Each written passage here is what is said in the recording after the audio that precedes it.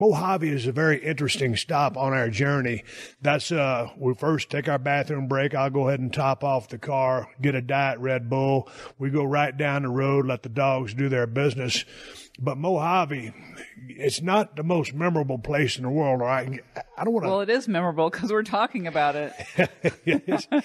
for the people that go, it's kind of like Edna. I mean, if you're not from there, you probably don't get it. It's not even near Edna. But you know what I'm saying. There's like a couple of gas stations and a lot of stores that have been shut down. But people there are just a little bit different. Like that guy, when you ask him about those gimmick shades at that part store, and he says, "We ain't got it," or "If it ain't on the shelf, we ain't got it." Yeah. that kind of attitude. Dude, one time we was gassing up. I don't know if you remember this.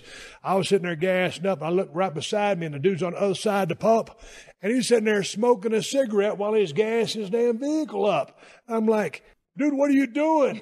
he just looked at me like I was, you know, just some idiot. I was like, maybe you don't value your life very much, but I value mine. I have precious cargo in my Yukon XL in the name of two dogs and my illustrious wife. Dude smoking a cigarette while he's gassing his shit up. Thing that you happened to, you know, upon in Mojave was when you pulled into the gas station and the guy pulled in at the same time you did. Oh man, let's talk a little bit of etiquette here. man, there's about six pumps out there, and we pull in, and me and this guy is going for the same gas pump, and I'm in a Yukon XL, and he's in a damn Prius. Some bitches don't even hardly use no gasoline.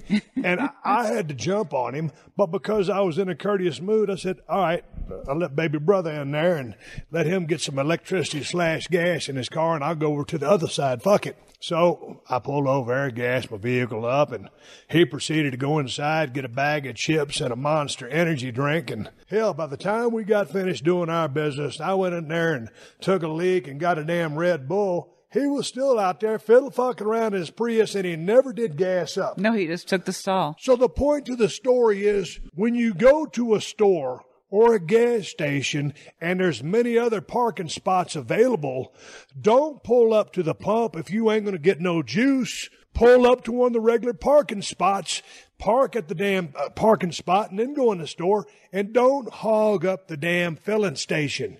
You remember that last time we was in the RV was down in Van Horn, Texas. Yep. This is when Van Horn really started blowing up. And that girl was out there. She was filling up her damn car with gasoline. She had a dog. And instead of taking the dog out to the bathroom after she gassed up and moved her car away from the fuel station so other people could use it because this some this some bitch was busy. Instead of doing that, she took her dog out for a damn walk. She we were on a sandwich break. She was out there for 15 damn minutes. People coming in and out there, no one could use that gas pump because she was too con- she was too inconsiderate to move her shit so other people could use the pump. Then, after she loads her dog up, go ahead. she proceeded to get the lint roller out to take all the dog hair off of her spandex pants. She let roll the damn dog, her seats, and then her pants. Yeah. Before she gets on the road. And and I'm just sitting there in disbelief. I can't believe anybody's so goddamn stupid that they just stay there and park out right in front of the goddamn gas pump. There is there should be a time limit on your time on your space. Here's another one for you. We was uh, on the way up here, and when you're running 395 uh, from Cali to get into Nevada, sometimes it goes down into a single lane. Here's some etiquette for you: drive and tip. Okay, when you're in a single lane, it says passing lane two miles ahead. If you ain't gonna go fast, get your shit and get in the right lane. And if you're gonna stay in the left lane, jump on the damn gas pedal and get out the damn way because we coming through. There'd be a daisy chain of us there, and that person would get over to the right lane. They would do their due diligence, Kristin.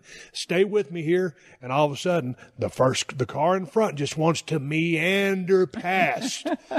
You can't meander past because there's only a certain allotted amount of distance for everybody to get past. And once you pass, get your ass out of the way, go right so we can haul ass and get behind, get past your slow ass. Does that make sense, Kristin? of Is course it so it hard? does. I know.